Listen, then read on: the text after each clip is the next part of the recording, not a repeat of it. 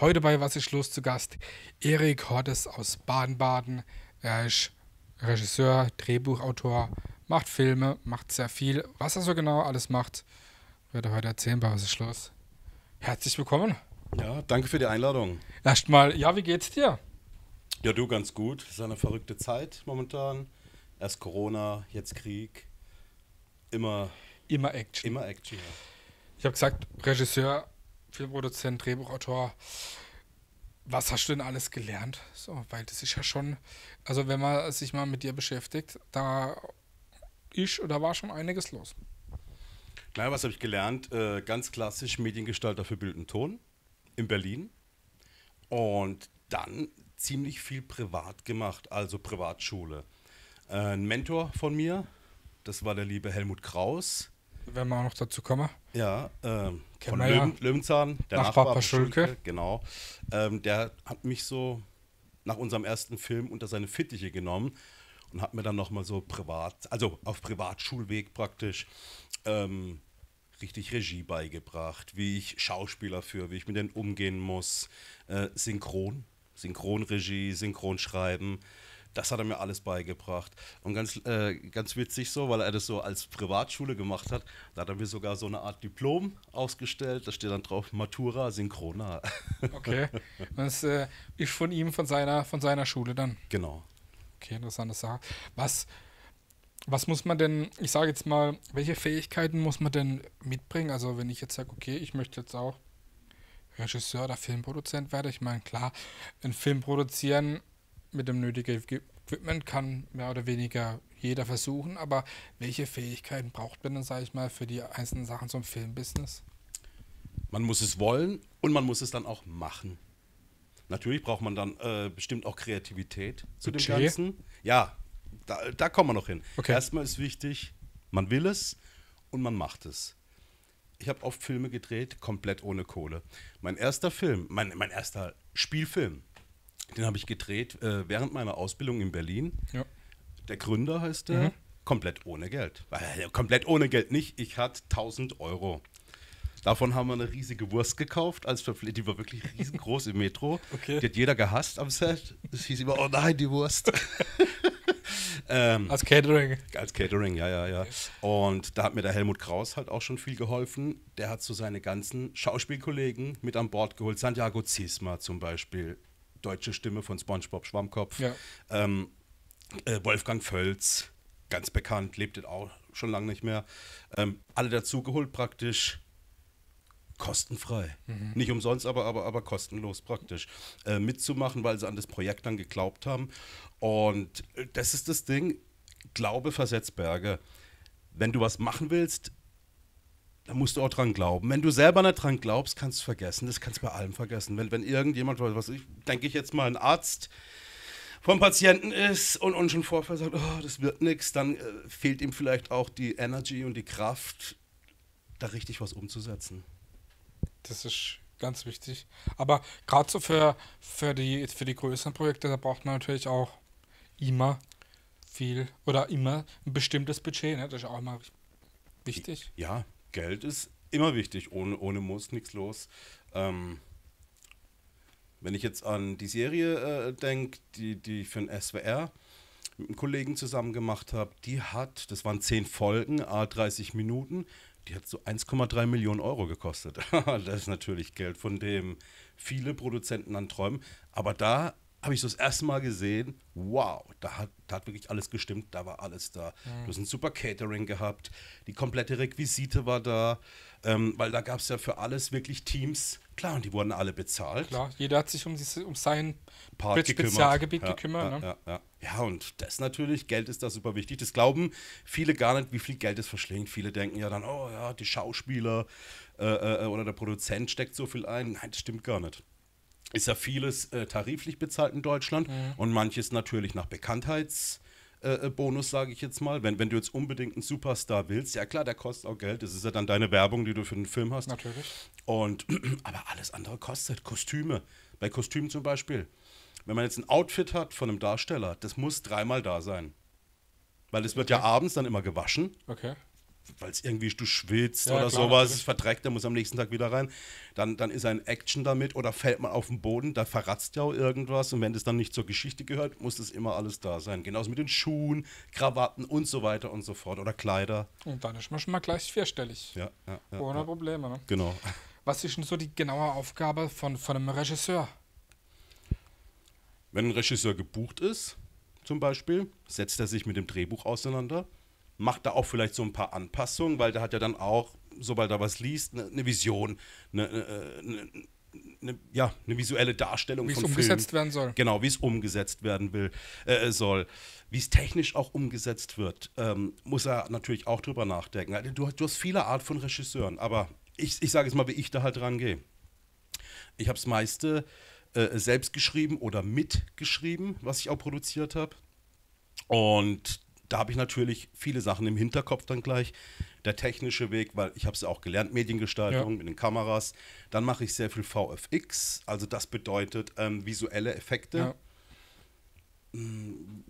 Beispiel sowas wie das Logo zum Beispiel als Animation oder was weiß ich. Jemand kriegt von einem Alien in den Kopf geschossen, der Kopf platzt. Ja. sowas Ja. zum Beispiel. Auch viel mit 3D. So, und da ich das halt sowieso halt vom grafischen her mache, kann ich mir natürlich auch schon vorstellen, ah, wie soll das aussehen, umgesetzt genau. werden, ja. Und dann macht man sich ein Bild und überlegt, ähm, das ist aber auch schon wieder ein Prozess beim Schreiben selbst, welchen Schauspieler besetze ich? Die habe ich meistens schon vorher alle so irgendwie im Kopf und schreib's dann auf den Schauspieler selbst, die Rolle oder die Figur. Du hast eben schon gesagt, ähm, vieles hängt mit dem, mit dem Wille zusammen. Hast du irgendwie einen Tipp für jemanden, der in die Schauspielbranche oder in die Filmbranche möchte? Ist auch wirklich in erster Linie auch äh, der Wille und Durchhaltevermögen? Klar, man braucht mal ein bisschen Talent. Das muss schon ein bisschen auch vorhanden sein, denke ich mal, aber ja. Der Wille. Der Wille zählt bei allem. Und der Glaube, der Glaube versetzt Berge. Man soll sich nie was ausreden lassen. Okay. Das ist wichtig, weil wenn man was hat, erstmal er- erste Regel. Wenn du einen Wunsch hast oder irgendwas machen, will, äh, machen willst, behalt's für dich. Mhm. Weil da kommen sonst immer Leute, die irgendwie, die wollen immer Status quo aufrechterhalten. Und die sagen dann, oh nee, das wirst du ja nie schaffen, um Gottes Willen. Jesus, Maria und Josef. weißt du, wie ich meine? Wollen dich da gleich so irgendwie dran hindern, obwohl sie es vielleicht auch gut mit dir meinen. Aber da entsteht dann so eine Energie, die dich, die schon mal wieder so ein paar Steine in den Weg legt. Zieht einen dann vielleicht runter schon Ja, wieder. Selbstzweifel, whatever, je nachdem, was für ein Typ man ist. Deswegen machen und durchziehen. Deine Idee für dich erstmal umsetzen, alles vorbereiten und dann kannst du starten. Dann kannst du noch jedem erzählen, wenn es eh schon da ist. Dann kriegt es auch jeder mit. Mhm. Ja, auf jeden Fall wichtiger Tipp. Welche, welche Aufgaben, ja, da du ja, äh, schwierige Frage, weil du ja eigentlich relativ viel machst, schon äh, von Drehbuch bis äh, Regie führen. Welche Aufgaben hast du denn, bevor der Film gedreht wird und auch während dem Film? Wie kann man sich das so vorstellen, so, wenn man sich jetzt nicht auskennt? Das ist, ja. Ja, kommt auch wieder ganz drauf an, was für ein Film. Oder Ist mit, wem, oder mit wem man dann arbeitet wieder, ne? Klar. Es, es gibt ja viele Filme. Entschuldigung. Es gibt ja viele Filme. Es gibt ja Spielfilme natürlich mit Schauspielern etc. Da gibt es Imagefilme, Werbespot, auch Serie, whatever. Naja, wie ist da meine Aufgabe im Vorfeld? Die ganze Vorbereitung natürlich. Das ist natürlich auch wieder eine Geldsache. Kannst du dir es leisten, Aufgaben abzugeben? Das ist die Sache, oder musst du alles irgendwie doch selbst machen? Dann hast du natürlich, äh, dann sieht der Tagesablauf so aus, dass du aufstehst, 20 Stunden arbeitest, vier Stunden schläfst und davon schon äh, im Bett nochmal durchgehst, oje, oje, was Ja, muss noch ja, alles ja. machen? Das ist natürlich katastrophal. Eigentlich musst du alles machen, an alles denken. An die Kleider, an die Kostüme, an die Requisiten. Wer macht's Essen? Hilft die Mutter mit? Oder, oder die Tante? Oder welche Freunde kann ich einbeziehen? Oder wie kommt Schaus kommen die Schauspieler vom Flughafen oder vom Bahnhof? Wie kommen die ins Hotel oder in die Stadt oder zu der Freundin, wo sie übernachten müssen? So viel. Deswegen, boah, das kann ich so gar nicht sagen. Es kommt aufs Geld drauf an.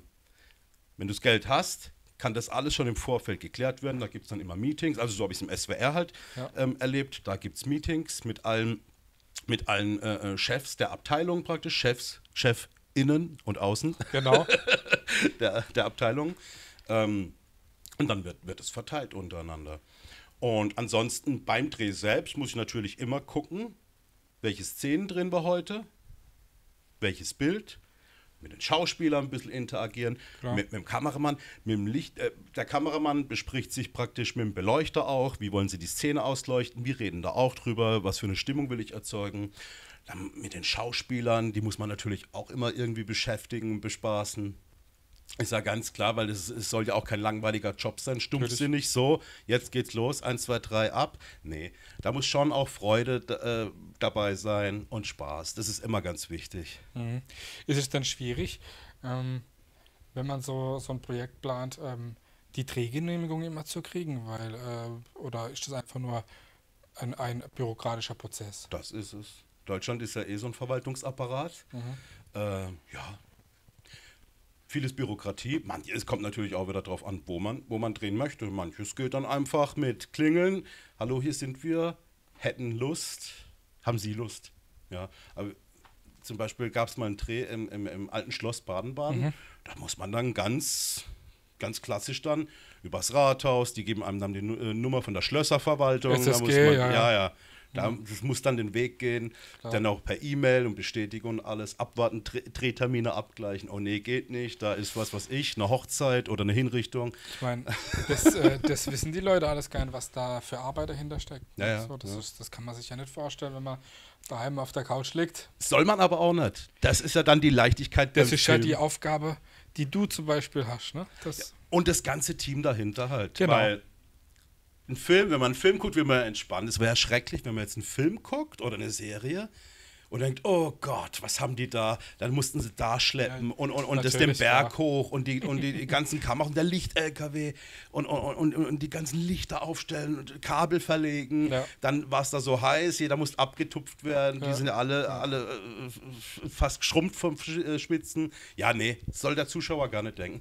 Das war ja bei Rudi Carell immer so. Ähm, der hat es mal in Interviews gesagt auch. Seine ganzen Gags oder, oder, oder, oder, der ganze Abend von der Show war von A bis Z komplett durchgeplant.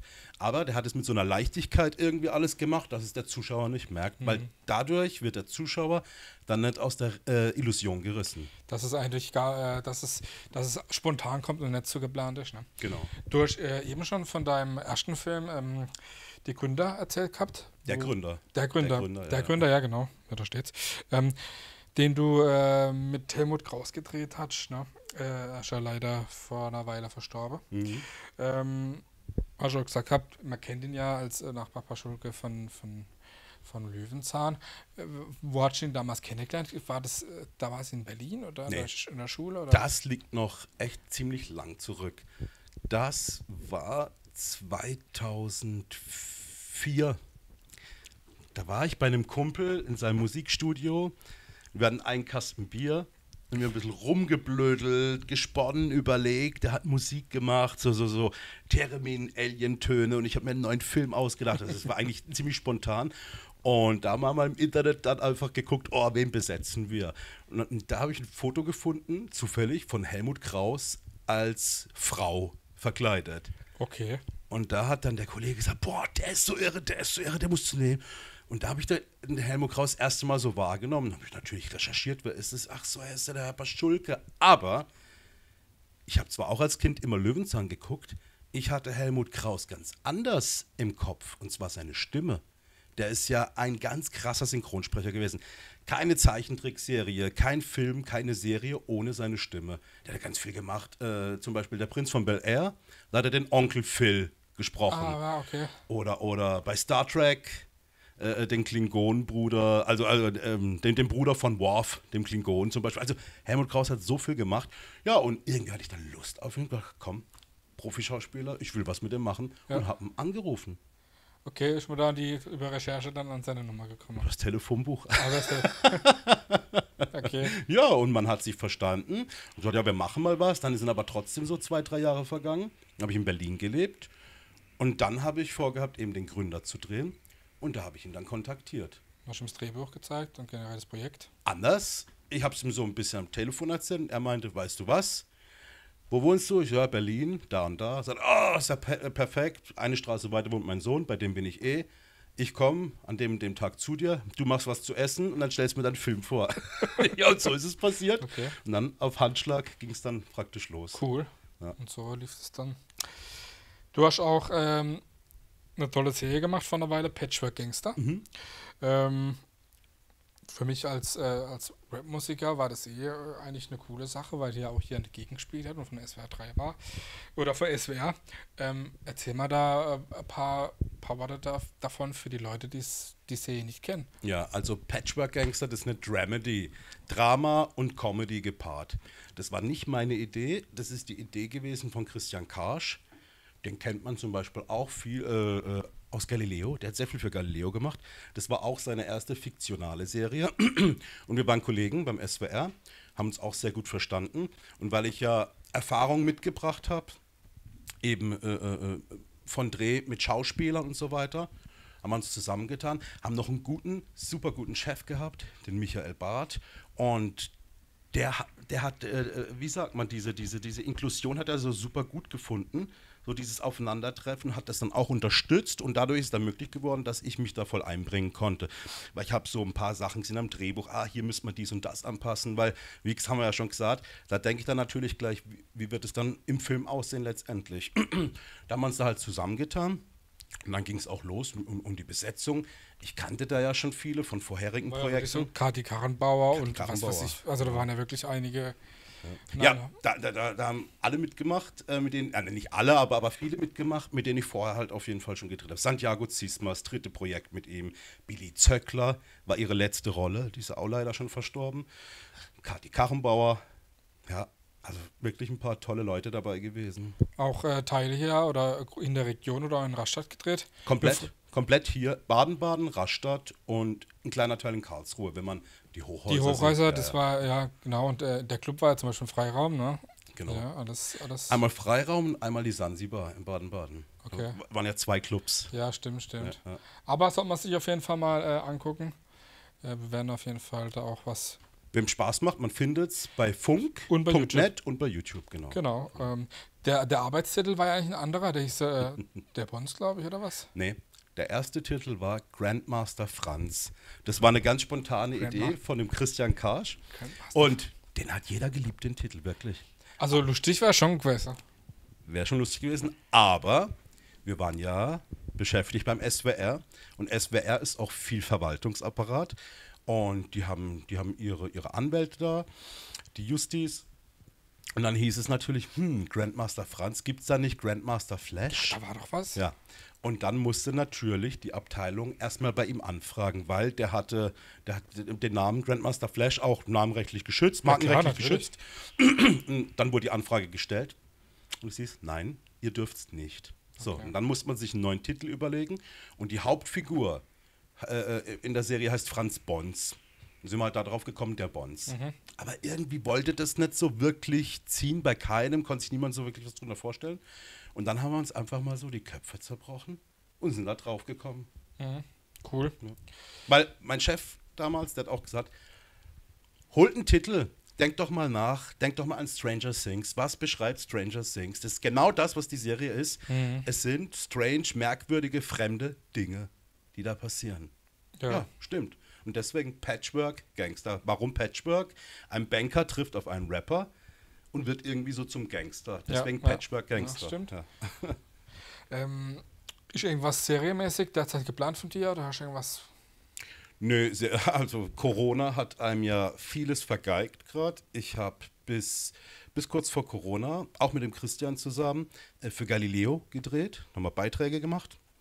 Aber dann kam Corona und hat halt vieles zunichte gemacht. Als man dann so nach und nach, ich glaube, es war so ein paar Monate nach Corona, habe ich einer Freundin geholfen bei so einer YouTube-Sendung. Das mache ich aber auch schon lange nicht mehr, äh, weil das ist auch viel zu viel Arbeit. Wirst du ja wissen. Ja. Ja, weil wenn man nicht gerade Live-Schnitt macht, sitzt man, wie gesagt, echt ewig dran. Wir haben damals, glaube ich, auch so vier, fünf Sendungen pro Tag gedreht. Ja, und dann war ich halt die ganze Zeit im Schnitt, Effekte rein. Ja, und nee, das habe ich nicht mal gemacht. Aber, ganz spannendes Thema, ich habe dann ziemlich schnell danach einen älteren Mann kennengelernt aus Baden-Baden. Der ist jetzt über 90. Okay. Ja, und der war Geheimdienstmitarbeiter, jahrelang vom britischen Geheimdienst. Und der führt seit über 60 Jahren Tagebuch. Und man hat sich so verstanden und der hat nichts veröffentlicht bisher. Okay. Und der will alles veröffentlichen. Jetzt ein Problem, der hat alles mit Schreibmaschine geschrieben. Okay. Ja. Ich habe dann dem jetzt geholfen, alles zu digitalisieren. Das ist eine Horrorarbeit. So. Ein Jahresalbum, ist vielleicht so dick, hat irgendwie 120 Seiten oder sowas. Das musste ich dann, anstatt dass ich es abtippe, das hätte ich nicht gemacht. Äh, aber es gibt da so, so eine App, da kannst du es abfotografieren und dann wird das Bild in Text umgewandelt. Ist trotzdem vieles falsch, das muss trotzdem alles händisch äh, verbessern. Das war eine Arbeit. Ja, wirklich Horror. Und da sind so krasse Dinge, die der Mann schildert. Ähm, Habe ich zu dem auch gesagt, also wenn Sie das veröffentlichen, teilweise glaubt es kein Mensch.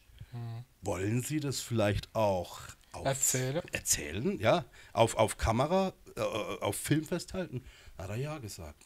Dann habe ich mit dem über Wochen, das ging, das ging knapp drei Monate, bald jeden zweiten, dritten Tag, weil der ist ja auch schon älter, schwach, konnte nicht mehr so alles voll, Interviews geführt und der hat praktisch seine komplette Lebensgeschichte erzählt. Ja, da arbeite ich gerade dran. Das ist so ein Spannend. Mammutprojekt. Ist es denn anders da, äh, einen, oder was ist anders da, ein, äh, bei einem Film zu produzieren wie im Galileo-Beitrag? Das ist wahrscheinlich die, die, die, Drama, äh, die Dramaturgie vielleicht auch. Ähm, nee, die brauchst du auch bei einem Galileo-Beitrag zum Beispiel. es funktioniert ja nichts un, äh, äh, ohne Dramaturgie. Du musst ja ein Thema vorstellen, genau wie in einem Film die Story, die Figuren, Protagonisten dann praktisch, um was es geht, die Handlung, äh, so eine Art Dreiakter. Nö, es ist eigentlich, äh, Film ist immer gleich. Im Großen wie auch im Kleineren. Ist ja äh, genauso in einem Werbespot. Ist ja auch dasselbe. Stimmt, nur kürzerer Zeit, ne? Ja, ja. Man muss trotzdem den, den Zuschauer packen, ne? Ja, zumindest versuchen. Ja, Wenn es gelingt, ist super. Das ist das Wichtige eigentlich. ja, Ne? Es ist ja jetzt schon seit, seit Jahren so, dass äh, das Streaming immer mehr, ähm, mehr an, an, an Marktanteilen und generell gewinnt.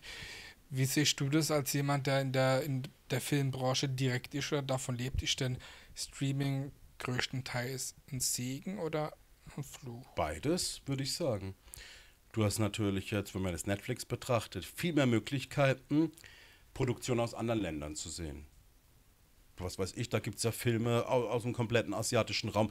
Äh, Franz, viele französische Filme, gut, Ja. die haben wir vorher auch gesehen, aber dann halt auch spanische Filme oder auch türkische Filme. Noch nie zuvor vorher Tür- gar nee, nie gesehen. Also im Fernsehen zumindest. Deswegen ist es natürlich gut. Allerdings, was, was ich da so ein bisschen blöd finde, das ist auch jetzt bei den Oscars so, du hast da. Mh, Du hast da so spezielle Vorgaben jetzt halt bekommen.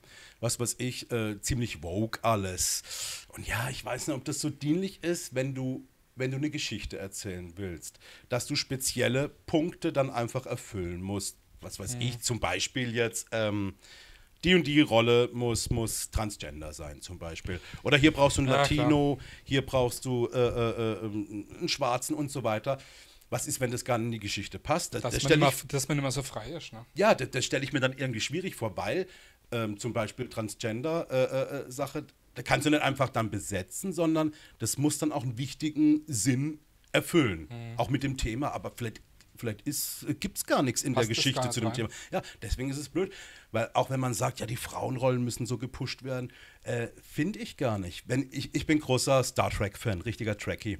Und wenn ich zurückdenke, also da waren so oft Frauen in Führungspositionen oder sowas, denkt man jetzt an Star Trek Voyager, Captain Janeway, da habe ich gar nicht drüber nachgedacht irgendwie. Oh, eine Frau, das ist für Das mich halt so, so. normal. Und wenn man das dann aber so als Muss vorgepappt bekommt, hat es immer so einen blöden Beigeschmack, finde ich. Wenn du selbst einen Film schaust oder im Fernseher guckst, guckst du anders da einen Film, wie, wie jetzt wir das machen? Guckst du, ah, wie haben sie das gemacht, wie haben sie das gemacht? Oder Manchmal. Nur manchmal. Wenn mich ein Film so packt, dann nicht. okay. Ja. Hast du irgendwie gerade im Kopf eine verrückte oder besonders ja, skurrile äh, Geschichte, die mal beim Dreh passiert ist? So eine ku- kurze, so, okay. Und die man erzählen kann. Ja. Ja. Hat auch mit Helmut Kraus zu tun. Wir haben gedreht in Lichtental, im Privathaus auf, auf der Terrasse. Und das Haus steht auf so einem Hügel. Da geht's runter, was weiß ich, 30 Meter oder sowas. Und Helmut hatte da so einen Trenchcoat an. War noch eine andere Schauspielerin in der Szene dabei, Cecilia Pilado. Und Die Szene bestand daraus, dass sie sich praktisch erschrecken, umdrehen, dann wegrennen müssen. So. War Abenddämmerung, glaube ich. Ja, es, ist, es war schon relativ dunkel. Und der Helmut hatte so einen langen Trenchcoat an. Und die Schauspielerin, das ist eine äh, Südamerikanerin, die ist natürlich auch sehr temperamentvoll und alles. Ja, ja. Und da hat der Helmut sich ab und zu so aufgeregt, so der, der konnte es nicht vertragen, diese Wucht. Dann drehen die sich um und sie hat dann halt auch so heftig gespielt, dass er irgendwie das Gleichgewicht verloren hat. Und da war ja auch schon die Klippe sozusagen links. Eigentlich wäre es ein einfacher Dreh gewesen, aber irgendwie hat es keiner so im Blick gehabt. Und auf einmal, das war wie in Zeitlupe, stürzt Helmut so wirklich so. Und es war wirklich, wir waren alle wie erstarrt. Ich habe zwei Gedanken gehabt. Da schäme ich mich auch für einen. Aber das sind so die Blitze, die dann erscheinen. Erstmal, oh nein, jetzt stirbt Helmut. Ja. Und zweitens, wo ist der Making-of-Kameramann? Ja. Aber ich bin dann wirklich blitzartig, wirklich vorgesprungen. Der Kameramann hat seine Kamera fallen lassen. Der Fotograf, als Standfotograf, springt auch. Die Schauspielerin auch dabei, packt ihn an seinem Mantel. Wir springen alle runter, stützen ihn so ab und der ist wirklich so über der Klippe gehangen. Nur noch die, Ba- äh, die Füße waren da praktisch auf der Erde. Wir konnten den zurückwuchten. Und das wäre echt böse ausgegangen. Ey, äh, da wäre alles rum gewesen. Das wäre ganz schlimm gewesen. Und was war dann? Helmut kommt zurück. Ich so, Helmut, alles gut mit dir? Ja, ja, jetzt bin ich genau richtig. Drehen wir weiter. Oha. Also, boah. Ja, also manchmal kann es auch sehr makaber zugehen am Film. Aber, und, und da gibt es auch viel Streit. Aber das ist, das ist gut. Ich habe mich viel mit Helmut gestritten zum Beispiel. Aber wir haben da so eine gute Streitkultur gehabt. Das war kein böser Streit. Bei sowas auf- kommst du weiter. dann. Ja, und du kommst da natürlich weiter. Und manchmal muss einem dann halt mal auch was eingestehen, wenn du nicht der Meinung bist. Aber ja, das ist das Leben. So ist das Leben. Gibt es irgendwelche Ziele, die du, ähm, große Ziele, kleine Ziele, die du gerade hast oder die du verfolgst oder was da? Ich schaue, was die Zukunft bringt. Und wie sieht es mit Vorbildern aus? Vorbilder, das sind immer, immer unterschiedliche. Das, also bei mir zumindest kommen immer andere Vorbilder. Ich habe natürlich von Kind, Ki- in, in der Kindheit habe ich andere Vorbilder gehabt. Natürlich. Wie jetzt, das entwickelt sich ja auch so irgendwie. Früher war ein Vorbild Walt Disney. Weil ich immer ein Dagobert Duck-Fan war zum Beispiel.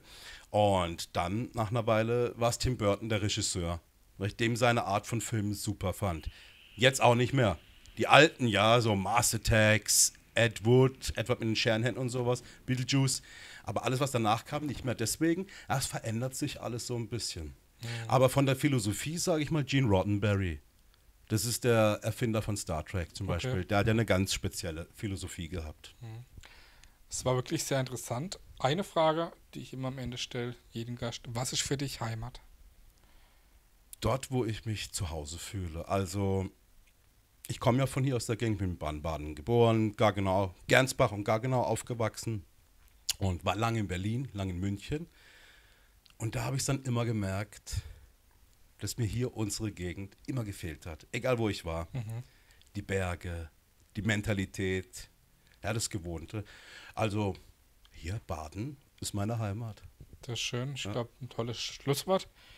Schön, dass du da warst. War wirklich interessant und kurzweilig. Danke für die Einladung. Wir wünschen dir auf jeden Fall weiterhin viel Spaß, Erfolg und natürlich auch den Wille. Merci. Das war Erik Hordes bei Was ist los? Ciao.